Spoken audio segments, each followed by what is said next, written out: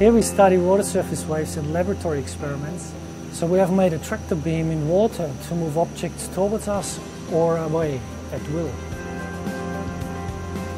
We have managed to manipulate floating objects to move towards the wave, to move in the direction of the wave, or to keep them stationary in the flow.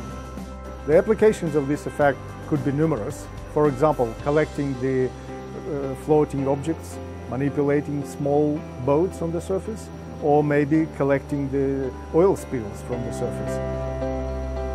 This results on the wave-driven currents suggest new ideas about how rips on the beach can occur in the presence of strong, very steep waves.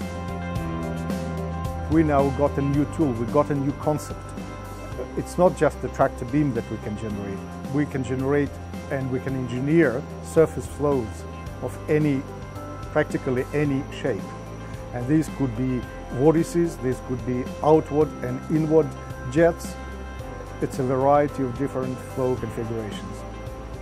Uh, this work on the tractor beam started shortly after we realized that particle motion on the surface perturbed by waves is by far too complex to handle by any existing theory.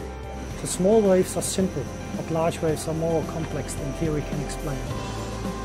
Waves are commonly used in lectures as simple examples. However, fluid surface waves are way more complex than waves in light and sound.